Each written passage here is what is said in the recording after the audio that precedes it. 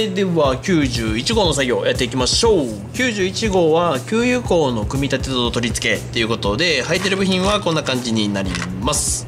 はい。なので早速作業の方やっていきましょう。でまずはですね、えー、この給油口の、えー、ここにこのキャップ。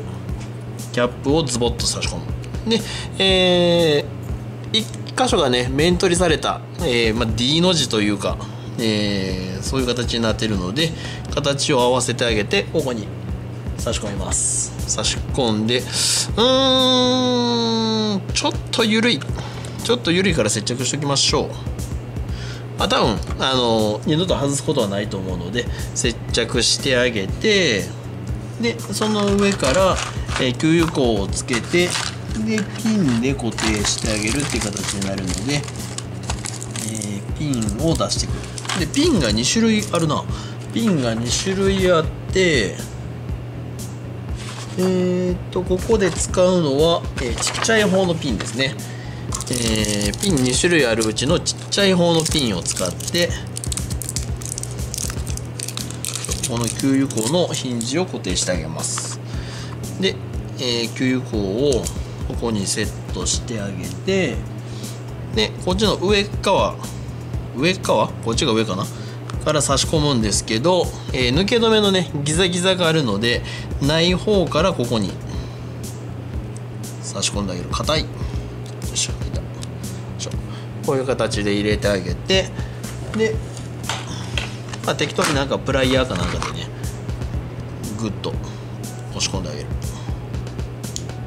ギュッと。はいこんな感じで押し込んであげたらこれで給油口がね開閉できるようになるのでこれを、えー、ボディに取り付けていきます。でボディはえー、っとねちょっと確認だけだったんで飛ばしたんですけど前回の号で、えー、このボディ届いてるので、えー、これにね取り付けしていきます。でまずは、え、この給油口この保護フィルム剥がしとかなあかんな。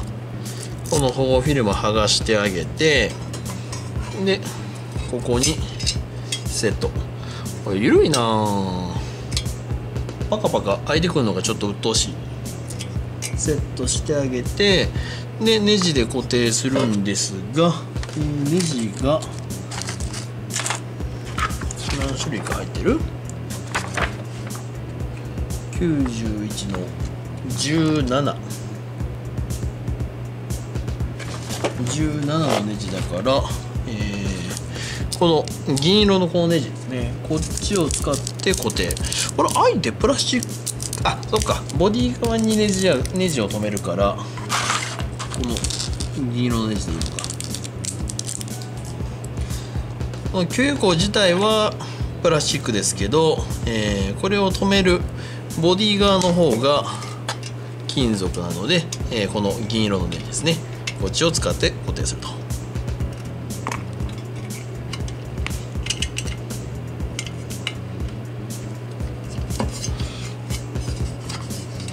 閉めにくい。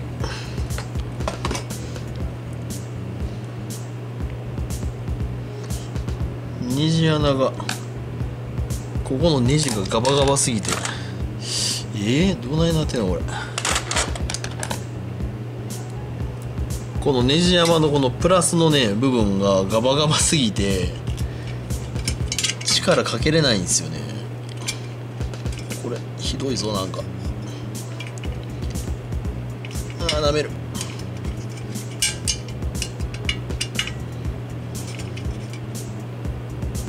もういつも言ってるけどなんでこういう粗悪なネジをわざわざ使うんでしょうね。国産のねまともなネジをまとめて買っとけばそんなにコスト上がらんやろって気がするんやけど。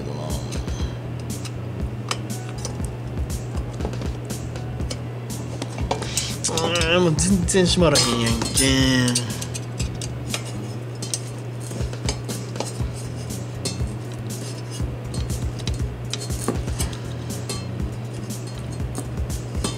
あーダメそう。あーダメだああもう無理。これ以上無理。はい。こんな感じで、はい一応固定はできてるからいいや、えー、こんな感じで給油口がつきます。ちょっと。なんだこれ。愛が悪いな。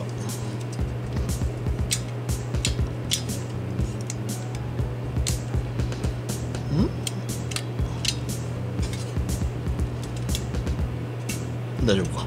はい。こんな感じでね空港がつきます。したら次に、えー、これを裏返してあげるんですけどちょっと裏返す気づくな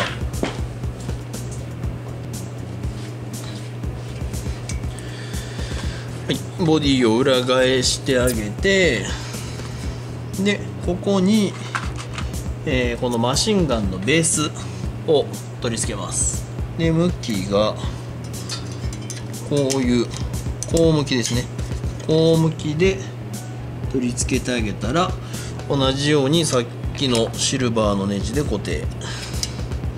こっちはまだ力をかけやすいからまだマシかな。締めんのは。よいしょ。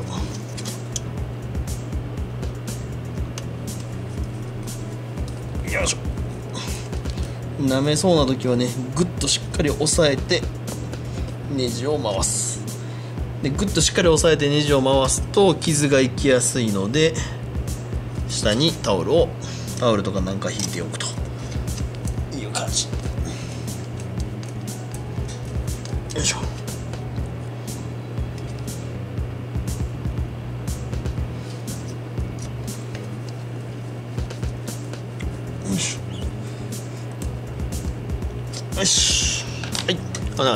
こんな感じで固定部品を取り付けてあげたらその上に、えー、このアームっていうパーツをここにセット。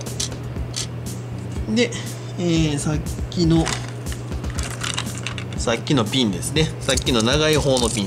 長い方のピンをこのアームの根元の部分に差し込むと。よいしょ。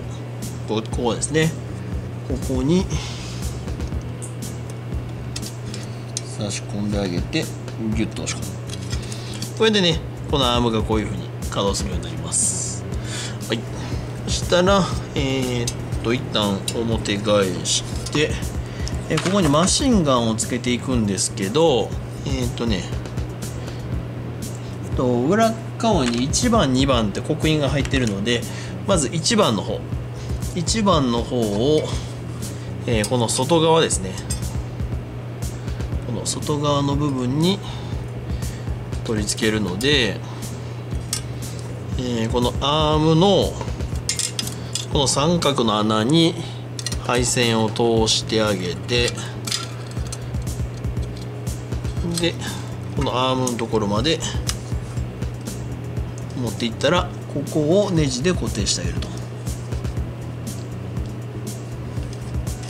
で使うネジはえらい細いネジやな。18だから、えー、こっちの黒い方のネジの、えー、細い方ですね。黒いネジの細い方のネジを使ってこのマシンガンを固定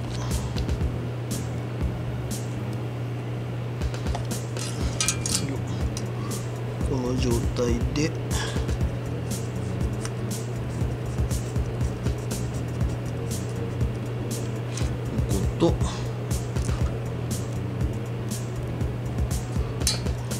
固定ん？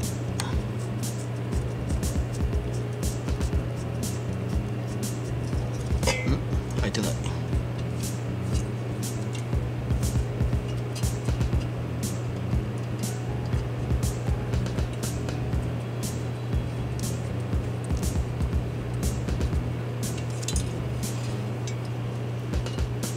なんか密着してないな。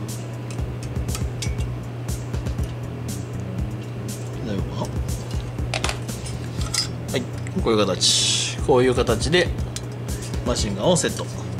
で反対側もう一個も一緒ですね。もう一個も同じようにセットしてあげる。ここに入れて。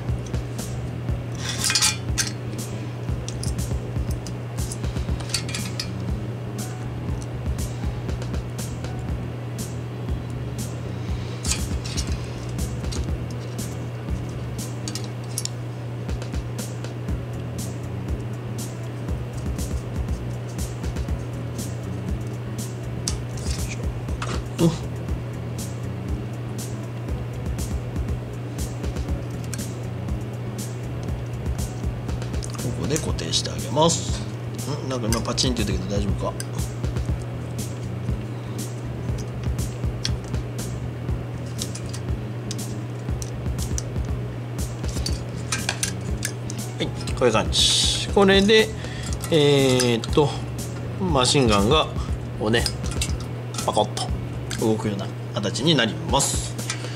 はいじゃあ次行きましょう。そしたら次にえー、っとここにえー、このこのアームにつけるこのリンク。これを取り付けていきます。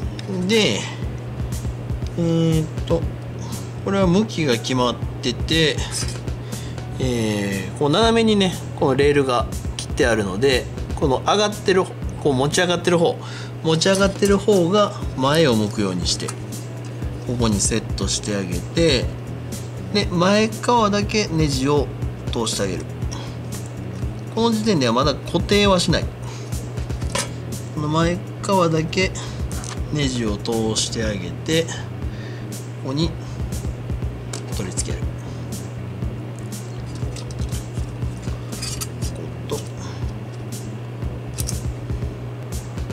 ここにセット。こういう形？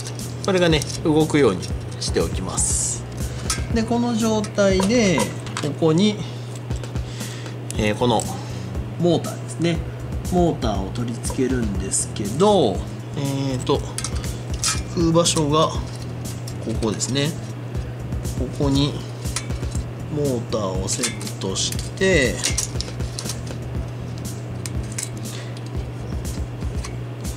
でモーターのここのねカムのところにこのアームの位置を合わせてあげてで挟み込んであげる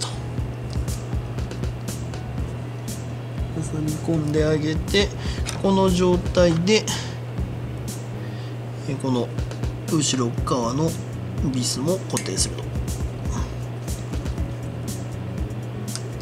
こと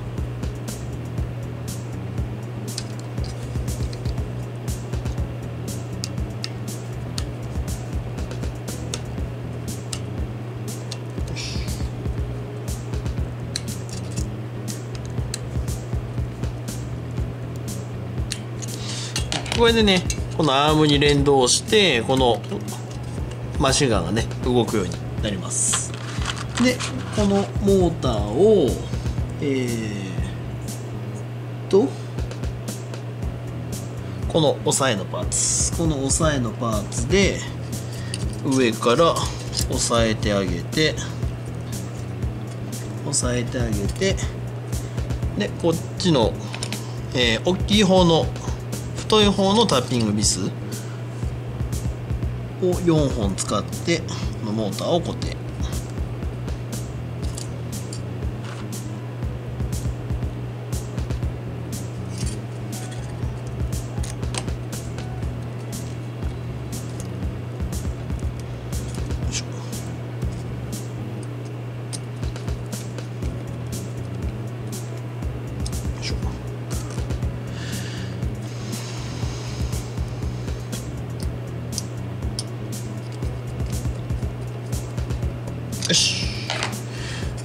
定してあげたらこれでマシンガン周りの組み立ては完了になります。そしたら次に、えーこの後ろ側の、えーウェザーストリップウェザーストリップを取り付ける。これはねここにここの穴にパコンとはめるだけですね。よいしょ。はめるだけなんですけどはめるだけだとちょっと緩いのではめた後に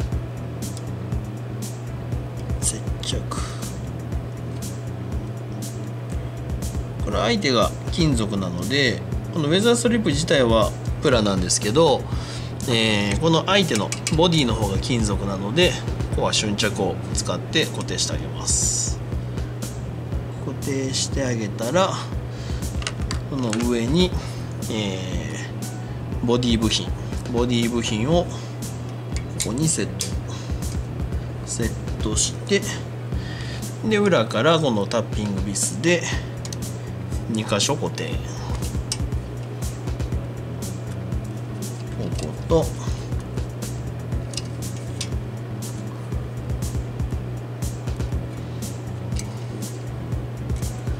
こで固定ですね。うんこれもネジ山が。よ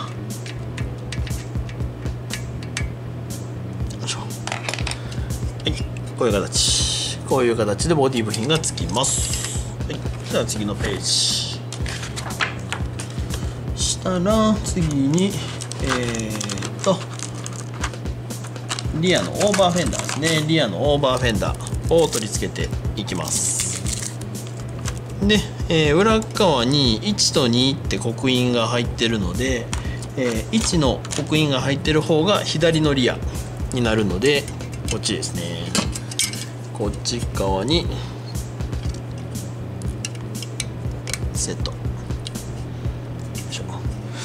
で一応しっかりはまるんですけど、えー接着しておきましょう。説明書にもね接着するように書いてあるんで接着しておきます。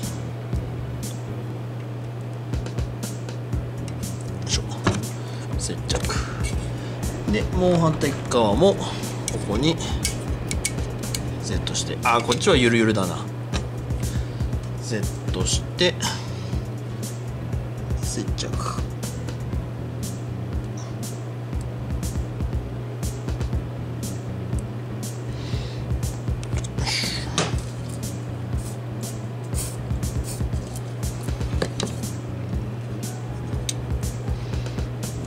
な感じでリアのオーバーフェンダーを接着してあげます。よいしょ。あー取れた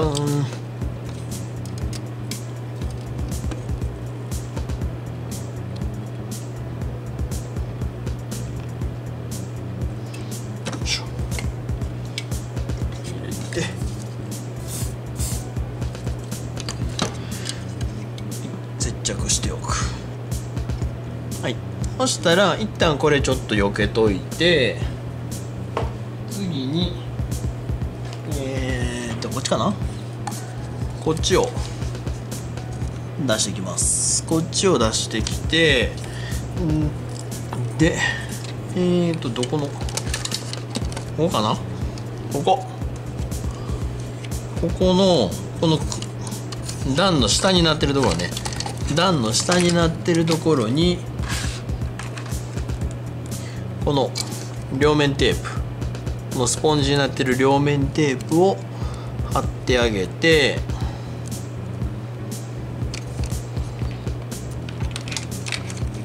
ここに貼ってあげる。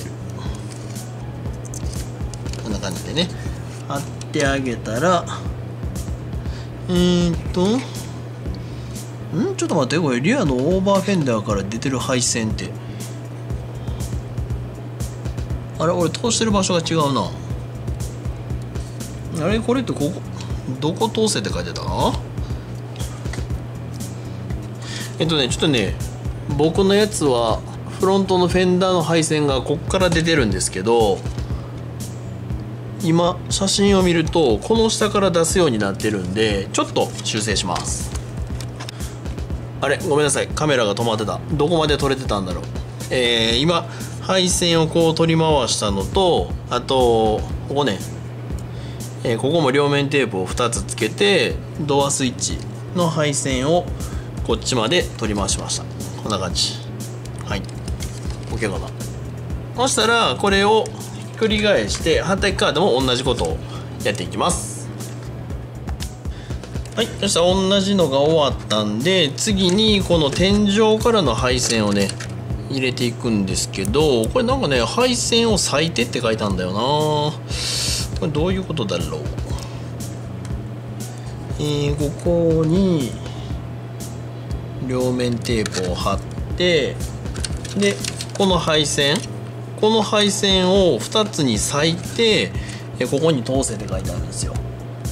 でこれどういうああそういうことか。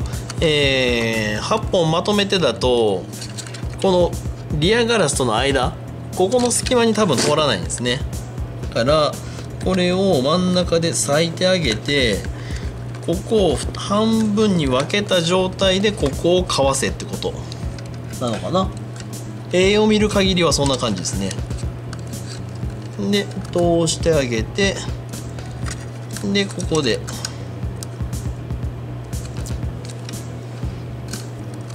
ここで配線を固定して。でこの配線はフレームの内側に入れておくという形。はい。こういう感じ？こういう感じにしてあげます。はい。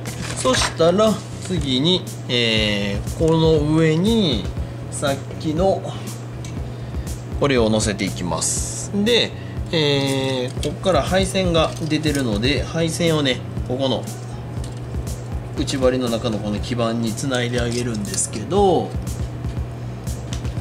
えー、まず、えー、このマシンガンから出てるこの2本。マシンガンから出てる2本をこ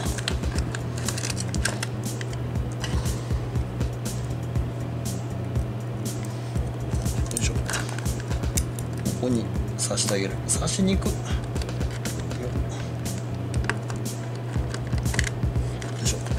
ここと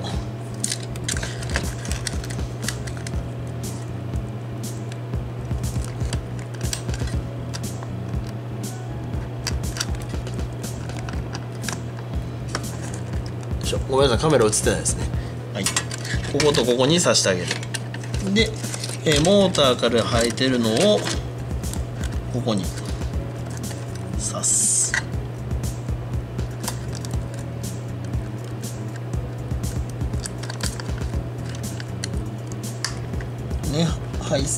刺す時にピンを曲げたりしないように気をつけながら刺しましょう。ギュッと。はい。刺してあげたら、えー、この配線を、えー、ここのクリップに通しておく。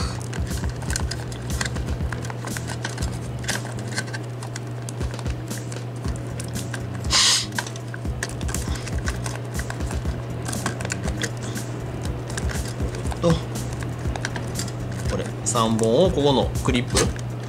ここのクリップに通しておきます。はい。そしたらこれで配線とかを辺に挟んだりとかしないように気をつけながら。この両面で止めてるだけやからすぐ剥がれるなこれ。よ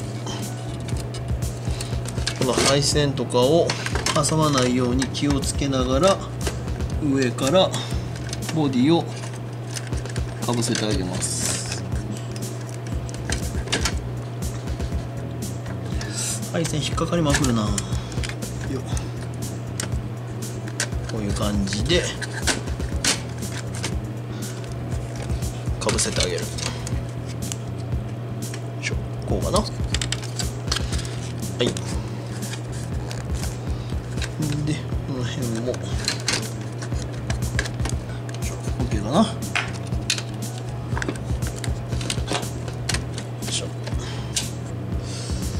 オッケーなんだかどうなんだかもよくわかんないけど。は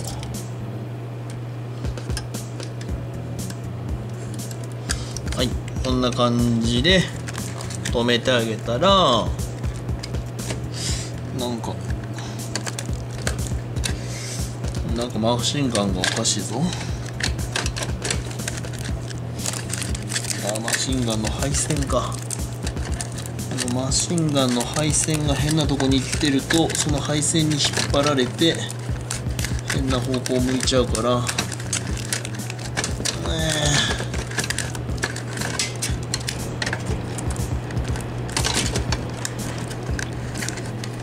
通したこのクリップに通した上で配線をマシンガンの配線をねこの後ろのマシンガンの真下に来るようにした方がいいですね。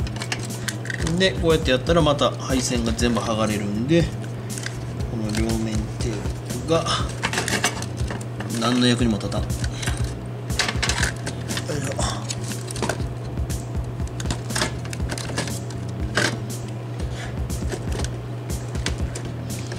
でもう一回。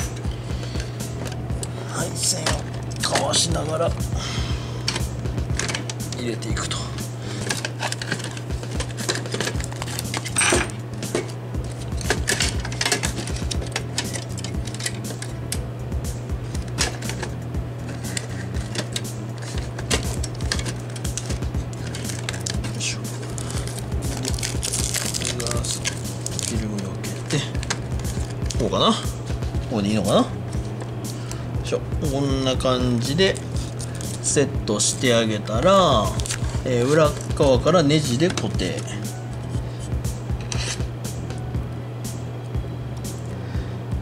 でこれ裏返すとこのマシンガンとかマシンガンとかパトライトが当た辺に干渉しちゃうので裏返してべちゃっと置かないようにねした方がいいと思います。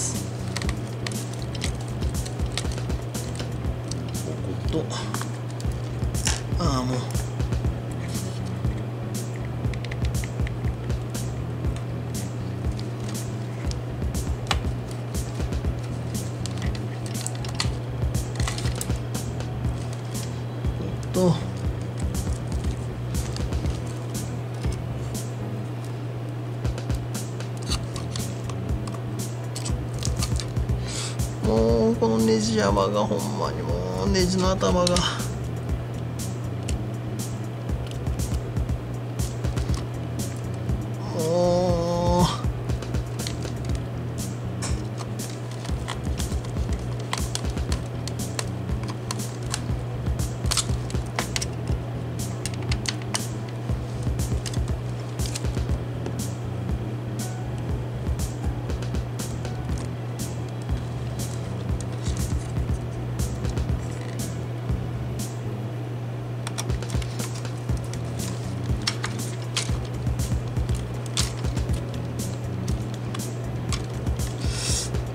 めるもう無理。はい。こんな感じでネジ4本止めてあげたら、えーこのネジの頭をこのシールで隠しておきます。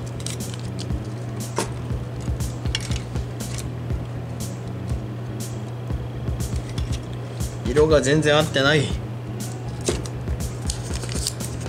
せめて色を合わすぐらいはちゃんとやってくれ。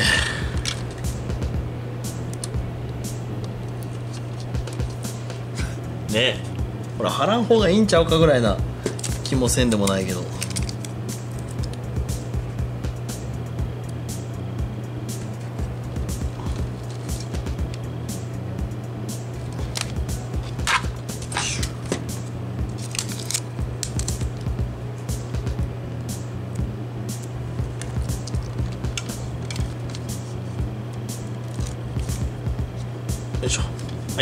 感じでネジを止めてあげたら次にえー、っとどこを止めるんだ？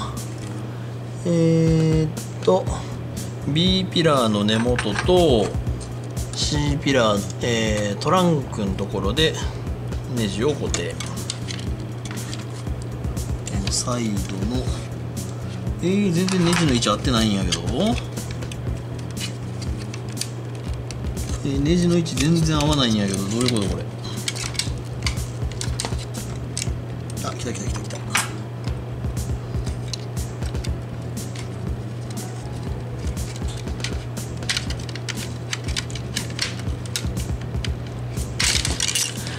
ああも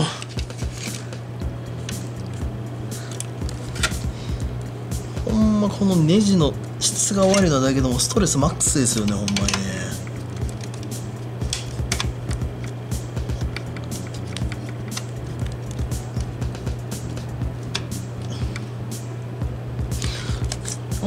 ですよねこんなんね。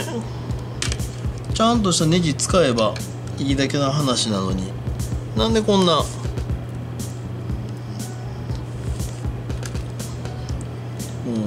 うみんなが腹を立てるような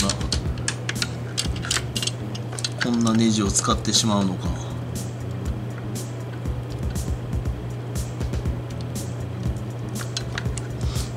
まあ、せめてねネジの質が悪いんだったらねていうかネジの位置が全然合わんぞどないなってんの？どうなってんのこれ？え？どういうこと？え？え全然合わないんやけど。えこれここまで入れてるやろ？だって。えなんで？ネジ穴が全然合わない。どこにネジ穴あんの？あれネジ穴ないぞ。えどういうこと？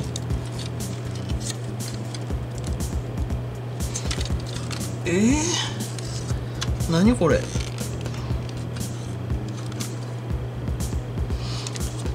こは多分こうか。えー、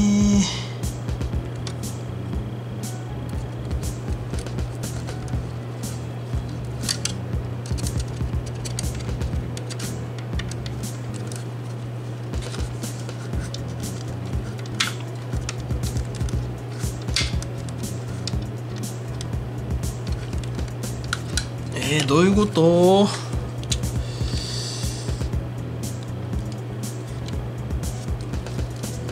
フレームが曲がってんのか？なよいしょ。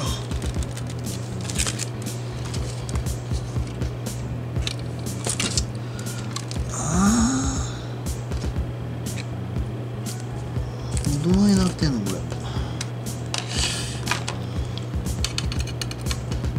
あゴミが詰まってんのかこれ。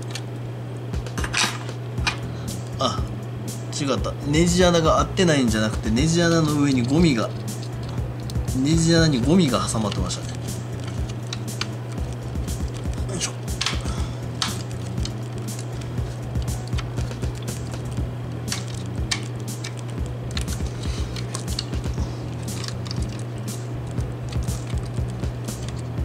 もうなめたもう。これをねちょっとこっちサイドも同じように止めていきます。はいそしたらなんとかつきましたよーっと配線挟まってるやんか。あ危ない。はいこんな感じで、えー全部のネジが固定できました。はい。そしたらこれで、えー今回の作業は終了になります。今回の作業終了で、えー次の92号では、えーリアカメラリアカメラリアシェルフパネルリアダイリア内張りの取り付けっていうことで、えーどこだろう。リアシェルフは多分ここですよね。でリアカメラとかなんかあるこれつくみたいなので、えーまた来週も作業やっていきますので続きが見たいと思っていただける方は下のチャンネル登録ボタンからチャンネル登録をよろしくお願いいたします。でね、えーマシンガンがねちょっと上がった状態になってるんですけどこれなんかあのーここの写真見てもね同じように上がった状態になってるんで多分これ今のあのモーターの位置だとこれが正常なのかなと思うので、えーこれはこのまんまいこうと思います。はい。というわけで、えー本日もご視聴いただきましてありがとうございました。